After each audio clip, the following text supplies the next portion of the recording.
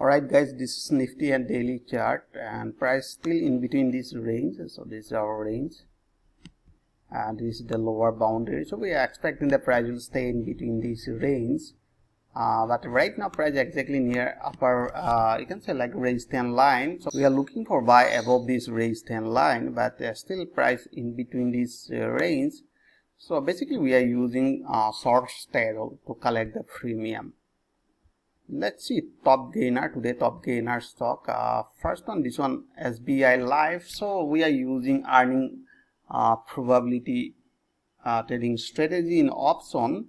Uh, so but as an intraday trader here I can see this is the perfect buy opportunity giving uh, both here I can see this one um, CCI 300 and RSI 60 level breakout somewhere there and all the way price goes up. So today uh, releasing their earnings all right th uh, that is our perfect the buy opportunity somewhere and all the price goes up. All right according to my pro setup. Next the bajaj finance they already uh, released their uh, earning. So here uh but basically we are using bouncing trading strategy here but uh, no buy opportunity according to this setup. All right all the way price are running toward the upside then let's see another Hindalco this one Hindalco and perfect buy opportunity uh, somewhere there. All right here.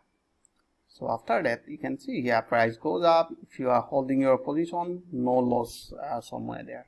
All right.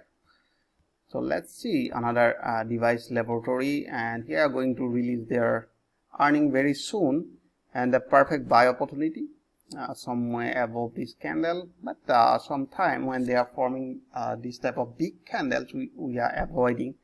But uh, you can go for buy because they are going to release the earnings. So that is why it's happening. So we are placing buy order above this candle. And the last one is uh, Sun Pharma pharmaceutical company so no buy opportunity here actually but uh, buy opportunity are forming somewhere there but we are not interested to take any position uh, because uh, CCI is still above there. We need uh, crossover in the same time like here that was our buy opportunity uh, last Friday.